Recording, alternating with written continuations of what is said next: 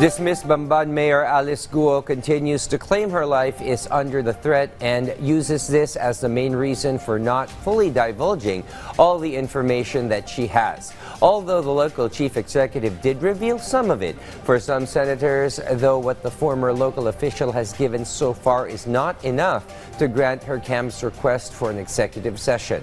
Daniel Manalastas has the rest of the details. Senators are not keen to approve the reported request of the camp of dismissed Mayor Alice Go to have an executive session in the Senate hearing on Go's issues.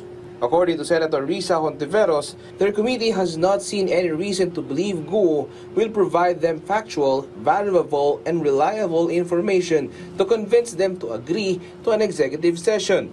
Senator Joel Villanueva also opposed the request. However, he couldn't help but feel curious on what Guo might tell. So they, they, they, they must convince us, me personally, makonvince dapat ako na mayroong bearing, mabigat, yung babanggiting impormasyon. Yesterday, Go did not go public on who facilitated their escape, but senators shared some clues. It's a Chinese name, hindi ako, hindi ako sure, baka magkamali ako. Pero ilang pangalan sir ang sinulat? Isa lang, isa lang. He is a uh, Chinese national and uh, allegedly, based from the uh, reports that I have received, he is uh, he fled the country and he is now in Taiwan.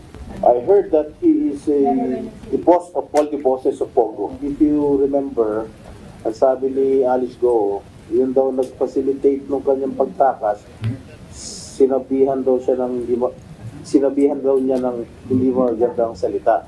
So I asked her, kung hindi mo kung sinabihan mo siya ng hindi magandang salita, bakit siya nagpa nagpatakas sa'yo?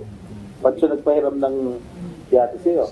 So ang aking conclusion doon, malamang siguro, kaya siguro itinaka si Alice Go papunta sa ibang bansa, baka ikanta niya itong ito nag-facilitate ng kanyang, ng kanyang pagtakas. Estrada believes this is part of Go's strategy to end up behind bars in the PNP custodial center, despite her case being bailable.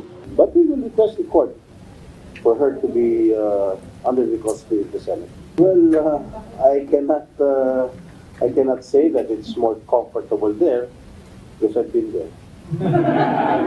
Senate President Francis Escudero, meanwhile, is not buying Go's assertion that no other Filipino helped her. He strongly believes there were other personalities and possible government officials who allegedly helped her. Daniel Manalastas from the National TV for a new and better Philippines.